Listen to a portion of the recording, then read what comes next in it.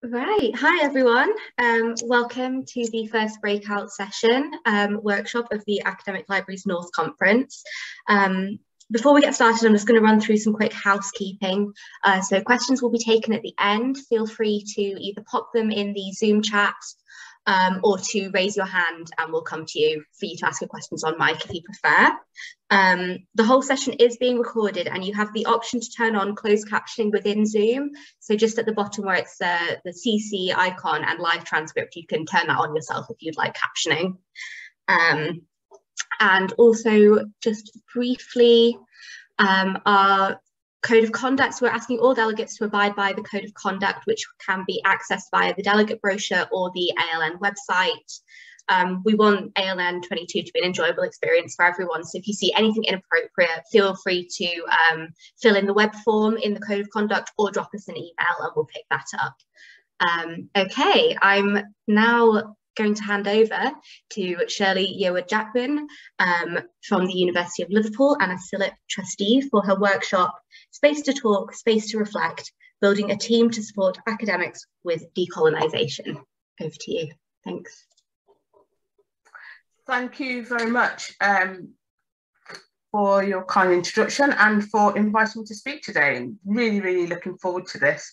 Uh, it's been a challenging few uh, weeks for me. Uh, I won't go into the details, but uh, enough to say that it's just good to at least be able to be here. So this is a really uh, important topic, I think, that's that uh, I've been engaging with, um, and one that I'm I'm really excited about. I'm just going to share my screen. let's see if we can. Just right so just let me see we can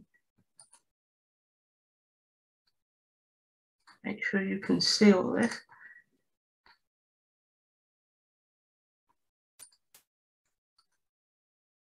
Okay so hopefully you can see my screen now. Someone can just confirm that for me. Yep that's great. Perfect. Yep. Right, so um, I'm just going to start by just talking a little bit about um, what happened. And um, so, you know, I'm talking here about academic liaison librarian. Many of you probably will very aware of it. Uh, this particular project that we're going to kind of explore together and see how how it might help you, or or maybe even you might be doing something similar for all I know. Um, but essentially, we're a team of academic liaison librarians. You know what we do: teaching, learning, uh, research support, but um, also obviously teaching uh, embedded on, on, on, teaching modules and, and working with our, our skills, um, academic skills service as well, know-how, uh, and then building relationships with with academics um, and and others actually students and, and, and, others and then obviously keeping everybody um, up to date on service delivery being that kind of go between uh, the library and the academic staff uh, and, and, others to ensure that, that, that service delivery is, is good.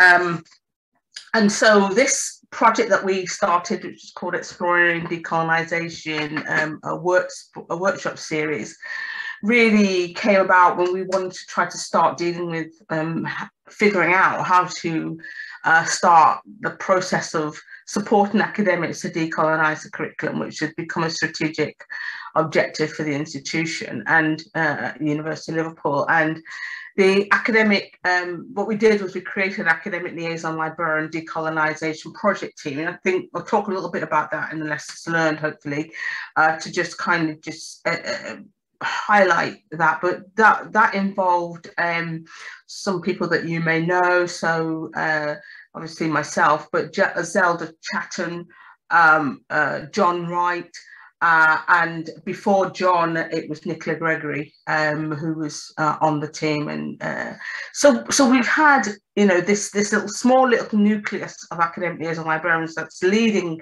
the, the, project, and then um, what we were doing was looking at how do we uh, develop, try to create um, a team of liaison librarians as opposed to just looking at how to champion it. How do you have champions? Because often what happens is it's one or two people who are leading the charge um, and it's not actually rolled out as something for the entire team. So what we wanted to do was to look at how we could do that. So we look at how, how do we develop um, the knowledge of our academic uh, liaison librarian team about decolonisation? How do we develop within them a level of confidence so that they feel they can engage with academics about decolonisation?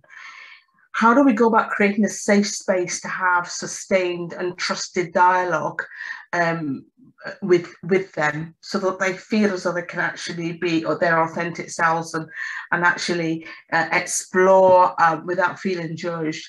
How do we help them to explore the barriers and opportunities that that exist uh, when you start on a project like this and how do you develop a shared team understanding of how we can support decolonisation within our, our library uh, and, and specifically within our role um, in terms of supporting academics uh, and indeed students really. So one of the things that I think we want to do at the moment is kind of think about decolonisation and what does it mean. So can I ask that you put that first um, poll in for me, please? Yep, no problem. And give everyone a chance then to answer that. Uh, and then the other one as well that's there, the second one. So these polls are around kind of, you know, these are the kind of poll that we would have shared with the team um, as we started on this journey. And we started to kind of figure out what it meant and how people were feeling. Because really we're trying to give people a bit of space to kind of start to think about you know how where they are in the process. And actually let them know that it was okay wherever they were it was fine it, it didn't matter. Some people were going to be much further along the journey than others. And what we needed to do was to just understand where everybody was um, and have a team approach where we could all be supportive of each other. So hopefully you've had a chance to answer those questions now.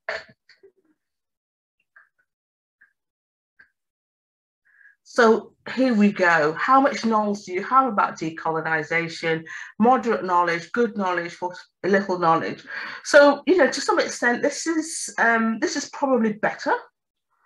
Um, I think um, in many ways, but it's an indication. Nobody's saying that they've got good knowledge. Well, some people are, but there's a few people that relatively few, the majority of people are in that um, moderate knowledge and little knowledge uh, about decolonisation. And so um, I think, you know, there's always there's work to be done. And so let's also have a look at the at the next slide. So how confident do you feel about your understanding of decolonisation the curriculum? So you can see here, it's interesting how that shifts um, we've got 47% here, uh, a slightly confident, not confident at all, 12%. And this is what, what we were doing in this, by, by doing these um, this way, uh, this way of, of helping people to kind of explore this, it helps you to start thinking and reflecting on where, you, where you're sitting in that, and therefore maybe what you might, might need or want to do to try to, to see. Good to see that we've got, um, you know, 26% there fairly, or 25 gone down, uh, fairly confident. But but what, what I'm trying to say is is that you can see there is this kind of um, range, isn't there, within our teams or within our organisations. Certainly, it was the case for us. There was this range, and by giving this opportunity in an anonymous way to kind of just say, "This is where I'm at," you know, I'm being honest. This is where I'm at. That was really, really um, helpful, I think, uh, and gave people a feeling, a sense that they could um, be honest with the situation. And so then one, one of the big things that we did, the next thing that we did was to start thinking about how can I, or how can we start helping people to move along and start thinking about what decolonisation means? Because there's a lot of things about decolonisation, isn't there? Um, a lot of ways in which, and there's a lot, quite a lot of pressures um, around how people think about it. Some people feel very uncomfortable talking about decolonisation and and, and, feel as um, have a specific perspective about what decolonization means and tend to think of it as being something where you take you're taking out something you're taking away something um, from the academy removing something because you know they're bad um, or or they're not right and they're not you know reflective. And i think um, i just want you to listen to this it's about we've got about eight minutes on this. So I'm just going to put this on and let you just listen to it. And I'd like you to listen quite intently because afterwards you're going to go into breakout rooms and have a little bit of a discussion uh, about this and what it means um, in terms of decolonization. Does it have any implication or how does it relate to decolonization?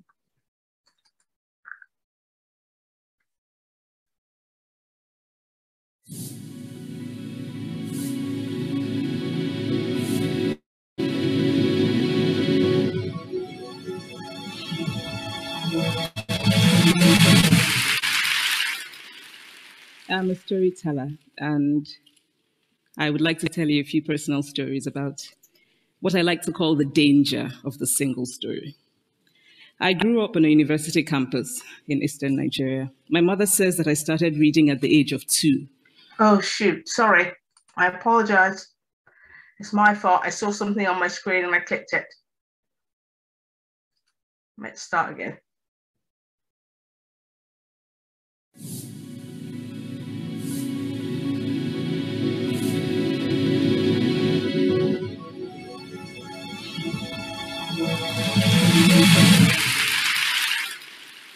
I'm a storyteller, and I would like to tell you a few personal stories about what I like to call the danger of the single story. I grew up on a university campus in eastern Nigeria. My mother says that I started reading at the age of two, although I think four is probably close to the truth. So I was an early reader, and what I read were British and American children's books. I was also an early writer. And when I began to write at about the age of seven, stories in pencil with crayon illustrations that my poor mother was obligated to read, I wrote exactly the kinds of stories I was reading. All my characters were white and blue eyed. They played in the snow. They ate apples.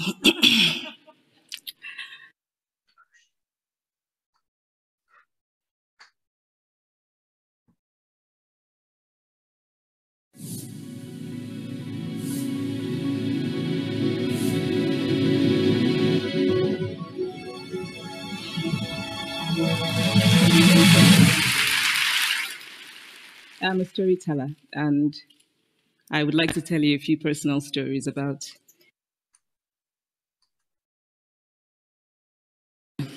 and what I read were British and American children's books. I was also an early writer. And when I began to write at about the age of seven, stories in pencil with crayon illustrations that my poor mother was obligated to read, I wrote exactly the kinds of stories I was reading. All my characters were white and blue eyed. They played in the snow. They ate apples. and they talked a lot about the weather, how lovely it was that the sun had come out. now, this despite the fact that I lived in Nigeria, I had never been outside Nigeria. We didn't have snow. We ate mangoes. And we never talked about the weather because there was no need to. My characters also drank a lot of ginger beer because the characters in the British books I read drank ginger beer. Never mind that I had no idea what ginger beer was.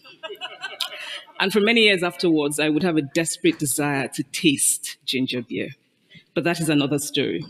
What this demonstrates, I think, is how impressionable and vulnerable we are in the face of a story, particularly as children.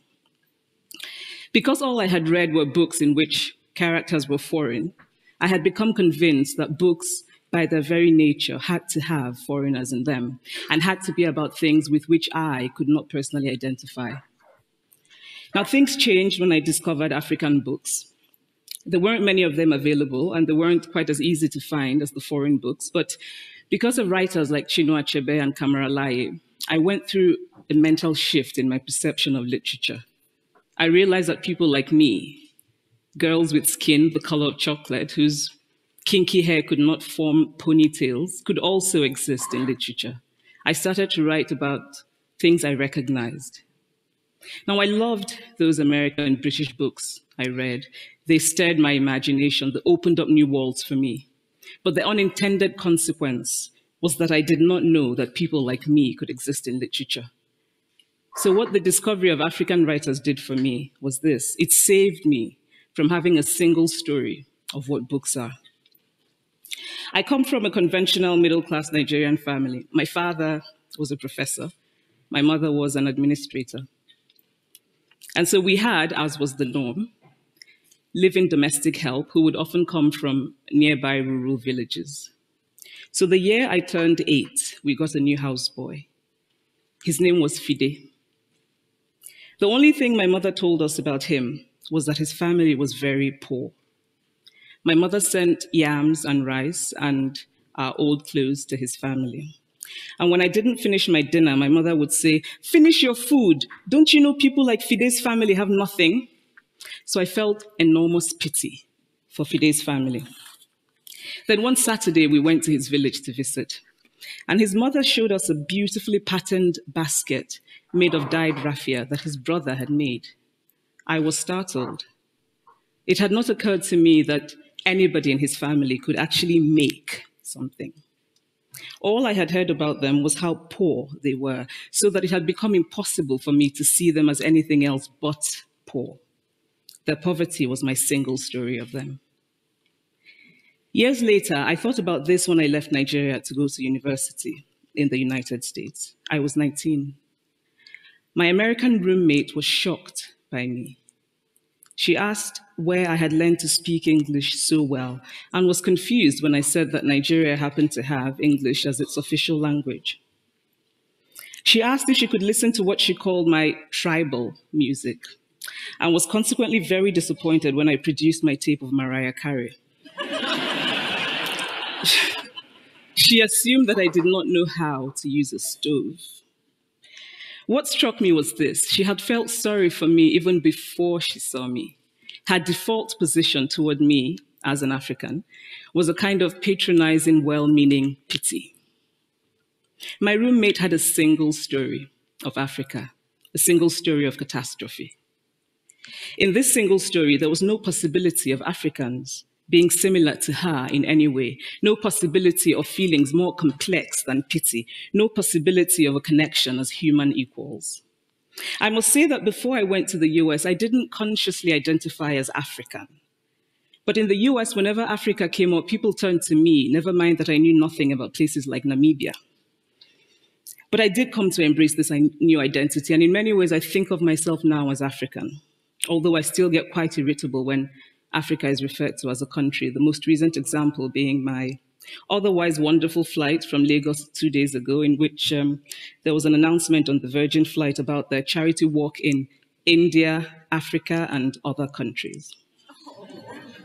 So, after I had spent some years in the US as an African, I began to understand my roommate's response to me.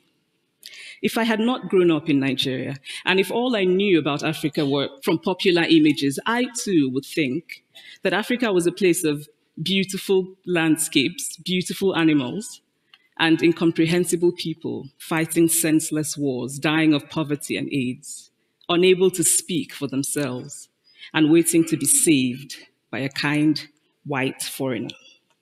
I would see Africans in the same way that I, as a child, had seen Fide's family. This single story of Africa ultimately comes, I think, from Western literature. Now, here's a quote from the writing of a London merchant called John Lok, who sailed to West Africa in 1561 and kept a fascinating account of his voyage. After referring to the Black Africans as beasts who have no houses, he writes, They are also people without heads, having their mouths and eyes in their breasts. Now, I've laughed every time I've read this, and one must admire the imagination of John Lok. But what is important about his writing is that it represents the beginning of a tradition of telling African stories in the West. a tradition of sub Saharan Africa as a place of negatives, of difference, of darkness, of people who, in the words of the wonderful poet Rudyard Kipling, are half devil, half child. And so I began to realize that my American roommate must have, throughout her life, seen and heard different versions of this single story. As had a professor who once told me that my novel was not authentically African. Now, I was quite willing to contend that there were a number of things wrong with the novel, that it had failed in a number of places, but I had not quite imagined that it had failed at achieving something called African authenticity. In fact, I did not know what African authenticity was.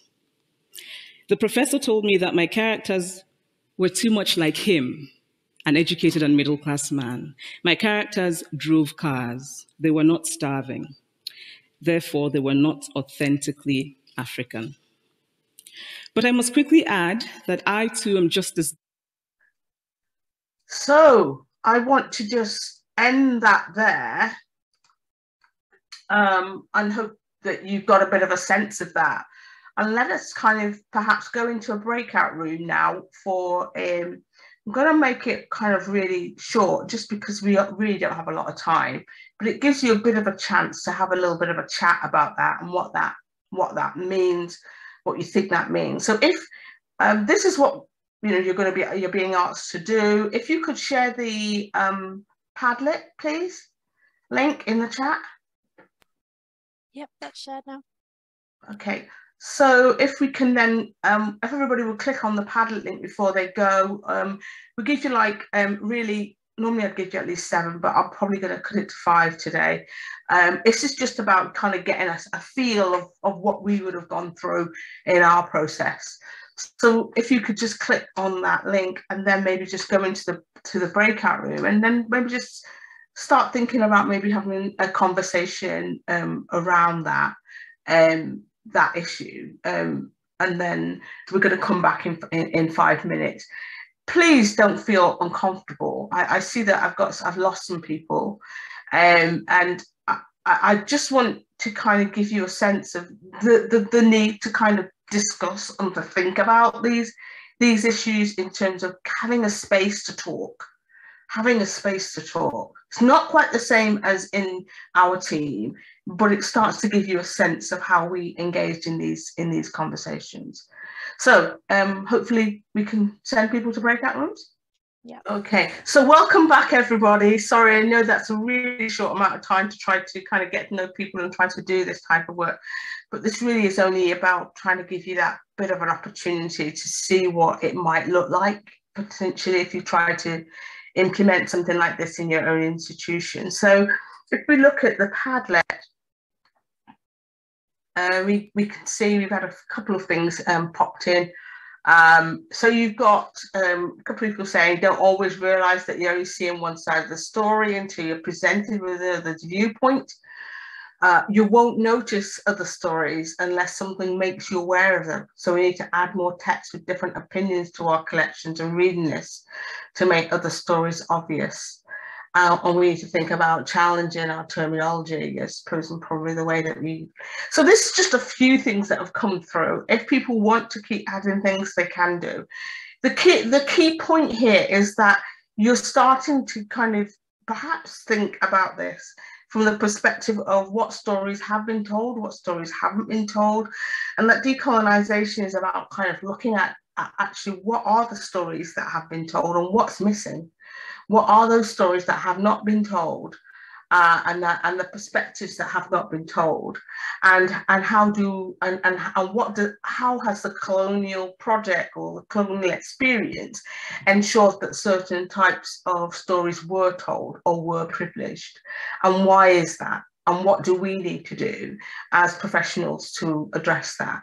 So so that's the purpose behind that kind of an exercise to help people to to feel as though they're starting to come to grips with it.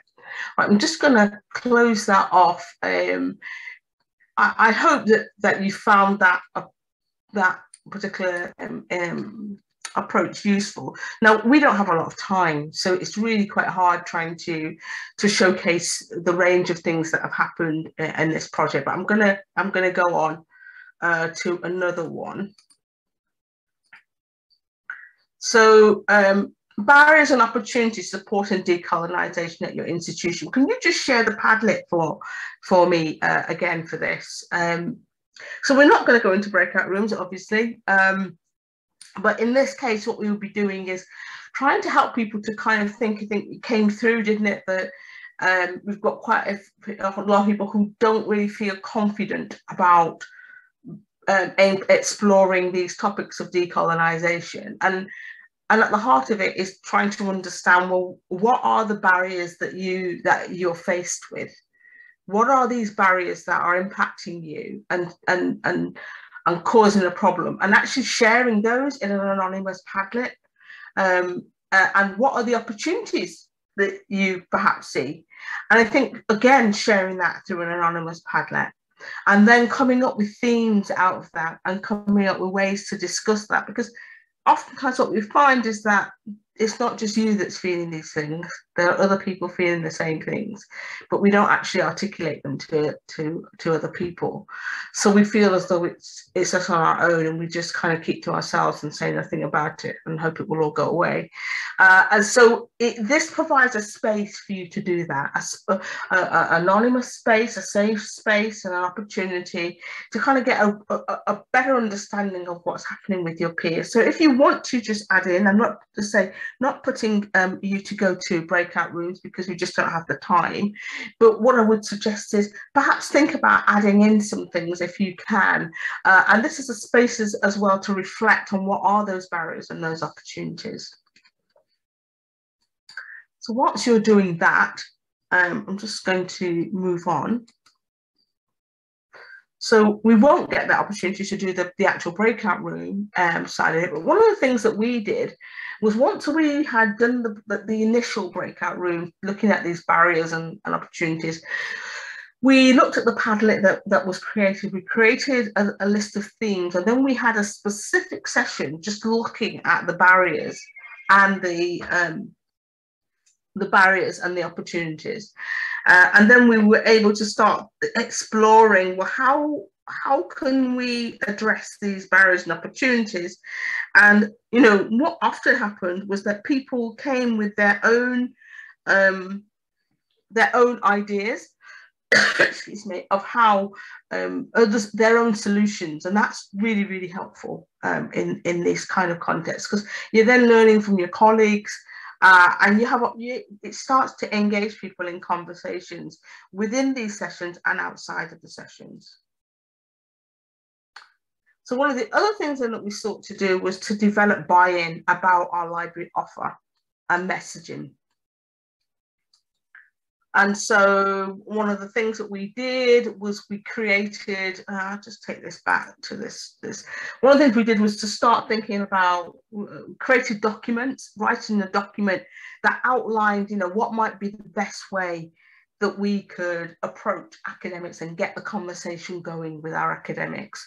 And one of those ways was to, you know, identify champions, identify, start trying to identify champions, start trying to get engaged uh, and find out who's involved in this type of work. You know, is there an EDI committee that you can get involved with or that you can find out who the chair is? Um, you know, trying to get yourself build those standard relationships that we often do build um, as library professionals with colleagues and certainly do uh, in the liaison librarian role and try and build those relationships so that you can actually start having one-on-one conversations and find out actively what people are doing and what have been some of the challenges and having the discussions. Often when you do have those conversations, what you'll find is that the same kinds of issues that you've been feeling about in terms of barriers, oftentimes you know, around confidence and uh, feeling awkward maybe in terms of talking about these things with colleagues, being concerned about the way in which they might react to you. All these kinds of things are things that they're also experiencing from some of their colleagues as well. So, you know, you start building a relationship uh, about around somebody who's really interested. So One of the other things that we did was we also created a live, started to look at library offers based on consultation with um, um, some um, some colleagues, some academic colleagues um, that had indicated an interest in being involved in at an early stage. And we were able to identify some core areas that we might be able to do some work to, to offer a range of, of, of uh, services uh, and ways of engaging with decolonisation and decolonising the curriculum.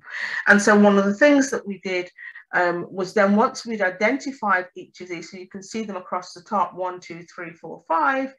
So one of the things that we did was we were able then to start thinking, well, actually, what would that look like? How would we deliver that? What do we need to do in order to make that happen? And then once people um, had um, identified things, and that they could um, that they would suggest. Uh, and we we are, I asked them to kind of like to to like the, the ones that they they really like. And that gave us uh, has given us uh, an opportunity to understand you know what what we, what are perceived to be the priority areas from the team. So we're building a shared understanding, a shared buy-in about how we're going to go move forward, how we're going to go forward. So again, time being short, I'm just going to go to lessons learned from the project today, just to kind of uh, make you aware. There's quite a bit, but you'll get get most of it in the uh, you get it through the slides. Um, so create a team culture. Uh, so lessons learned, development or supported team culture. This is really important. If your team is really supportive and, and says it's okay that you don't understand, as you can see from the polls, many people are at different stages of their learning journey. So if if that is the situation, which it will be in most institutions, a team culture which signals that it's okay is really supportive to those people, to a variety of people, to everybody. Let's everybody know, look, we're all going to work on this together. We're all going to move forward together. Uh, and, and, and it's okay that people are at different stages. You're not expected to know everything. Providing a supportive environment where staff can feel safe to share their concerns um, and be their authentic selves so that whole thing with the barriers and the concerns, and I hope some of you are able to put in some of your barriers and, and opportunities into that Padlet, because it would be really useful um, to share, I think, as an outcome of this project. You know, not feeling judged and that is really really really important you know that people feel that way that sustained trust because you need to have um, that that feeling that you can actually be honest about where you are. And build confidence uh, and and um, through identifying solutions. And and often those solutions come through sharing your experiences in those uh, breakout rooms through Padlets, through other uh, mechanisms, and then um, you've you realise that other people have got them, have got the same um, issues or challenges, or that you can offer something to help them to to to address or deal with um, how they have been uh, an issue that they've raised. You've got support in the development of knowledge, so provide ways to showcase the staff that decolonisation is aligned with university strategic objectives, support staff to develop um, their understanding. This is really important, actually, really making sure that people feel that they understand that they've got a green light to get engaged in this work in their institution. And I hope that this is the case in your institution, that you can find some strategic drivers to, to support you and, and even look for statements that the VC is saying or other senior members of staff is saying around decolonisation, because some people will be hesitant about getting involved in these initiatives. Um, so as I said, about support, development and understanding of decolonisation over time. We can't do it just um, one time. A one-time shot doesn't work. It's got to be repeatedly coming back and building on the on on your understanding over time um, provide opportunities for staff to learn how decolonisation is being supported at Liverpool, uh, well, I've got at Liverpool, but from any institution, from invited speakers. So we invited our um, teaching and learning um, um people, so the people who who provide guidance and to to to um, staff around teaching and learning. And, and what we did with them was was they, they talked about our inclusive curriculum. They talked about you know the way in which uh, our inclusive curriculum toolkit and in other words how it how it fits how all this fits together. And then most recently, we've had a student voice session where we've got students that we, uh, from some departments that we have been working with that have been doing decolonisation projects to provide the student voice. All of this helps to build confidence and support for staff and an understanding of how decolonisation is being rolled out across the institution. Create spaces to continue the conversation. I'm going to have to stop, I know. Teams channels. Yeah, yeah. Teams channels and Padlet. So there's a lot of, of things here. I've also talked about the pedagogy here, so you've got that, and you've also got about the, the organisation, the need to make sure that you've got team members who are supportive um, of the initiative. They don't have to have as much knowledge as, as uh, uh, together, but they do need to be supportive. Uh, and just very quickly, what have you learned today? If you could just share that, Paul, for me, uh, and then people can can kind of fill that out as it is, and, and I'll share the the responses um, at the end. So I'm, I'm really sorry about that. No, no worries. Thank you so much, Shirley. And I'm sorry that we've had to had to cut you off there. Um, but um, please, people feel free to continue these discussions in the lounges, which can be accessed at the top of the Hubilo platform. Um, and Shirley, as well, if you'd like to to join one of those and discuss further with people there. Yes, I'm happy to go into the to the lounge. Yeah. That would be fantastic. So we've got um, until 3.15 for um, networking and, and breaking out into the lounges before the next session at 3.15, uh, which is going to be our gold sponsor presentation from Kortext, building a case for free e-textbooks at the University of Derby. Um, we also have a feedback survey which will be going out at the end of each day of the conference. So um, we would really appreciate everybody, everybody's feedback in that. Um, and yeah, I think we are going to wrap up there. Thank you so much again, Shirley. Absolutely a pleasure to be here. Thank you. Thank you.